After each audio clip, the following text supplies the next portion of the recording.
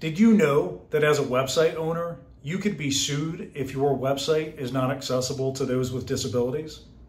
But more importantly, we all get that that's just the right thing to do, right?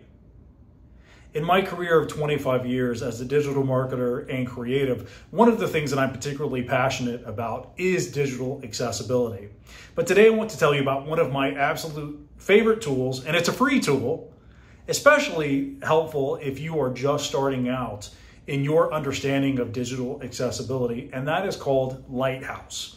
It's a free tool that's available to you through Google's Chrome browser.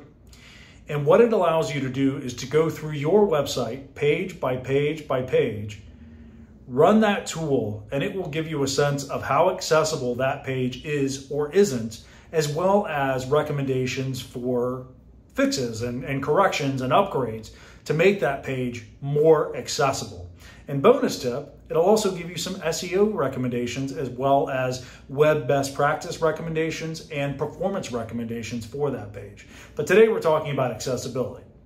So it's going to tell you are your fonts sized appropriately? Are the color contrasts high enough?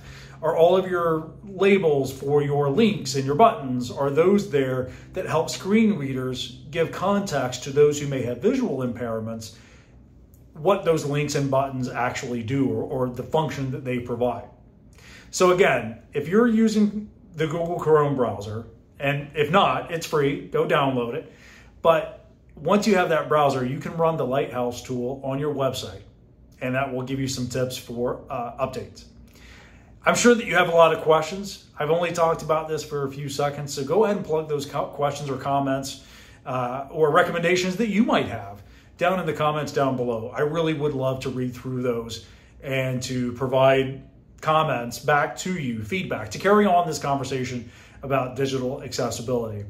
In the meantime, though, have an awesome day, and I will see you in my next video.